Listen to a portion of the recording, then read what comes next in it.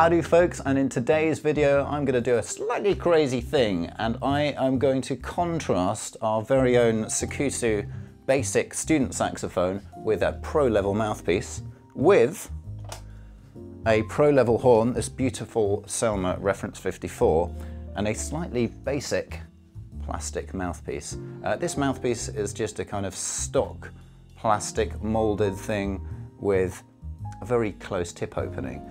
So the idea is, I don't want to give the conclusions away, but I want to point out the influence that the mouthpiece, and in fact the whole mouthpiece setup, has on the end results.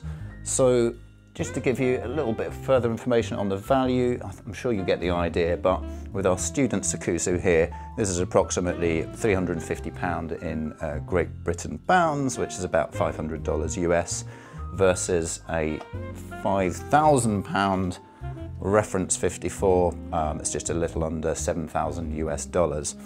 Um, and as for the value of the mouthpiece, I mean, this May isn't a super expensive mouthpiece. It's about 150 pounds or 200 dollars, um, but it is a very good mouthpiece.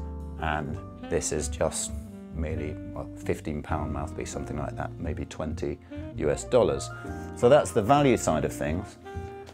So Let's just get on with it and we'll chat about it in a bit.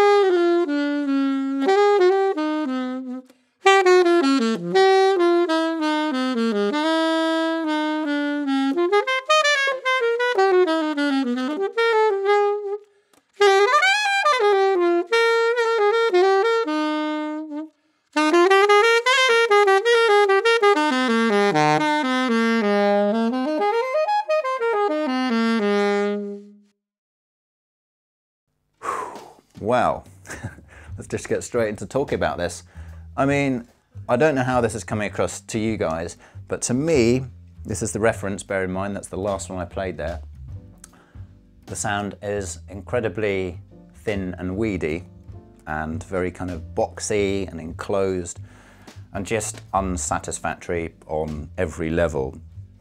Contrasting with the Sakkusu, which I started on, for me the sound was much bigger, more bold. I, I, could express myself with it more, more dynamics in there, more layers in the sound, all the things that I look for.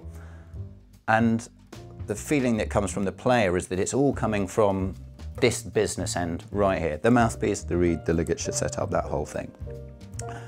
I can, I, I should back that up by saying I can feel the quality of the reference alto behind this mouthpiece um, it just kind of feels like this, like playing like this. I'm kind of being muffled, um, and behind it there's this this oozing quality which just cannot express itself because this is going on here. Whereas with the Sakkusu, it's the other way around. Um, you've got this wonderful open sound that is happening right here at the business end, and the, the, sax isn't as great as the reference, but it's still not bad. Um, I mean, I've pointed this out in previous videos.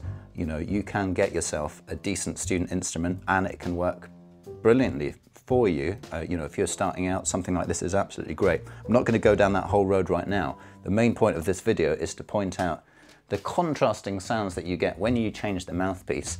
So obviously the ideal scenario is to have a pro level mouthpiece and a pro horn for the best of both worlds. You've got the wonderful sound source at the mouthpiece, and then you've got everything else that the pro level saxophone adds on top of that. So you might be saying, well, why am I just endorsing a basic student instrument and a pro level mouthpiece if that's all we need to do?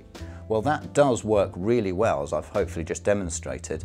But if saxophone playing is your thing, if you're a professional or a serious hobbyist, then it does pay to spend a bit more money on a saxophone because on top of the basic sound that you get from a student instrument like our Sakkusu there, when you start moving on to something like this or anything in between, then um, lots of things start falling into place for you. The sound can open up a little bit more, um, there can be more layers and interest in the sound, the dynamics can open up for you, the stability of the intonation, which is so important for me, the key action, all these things you've heard me talk about in videos gone by.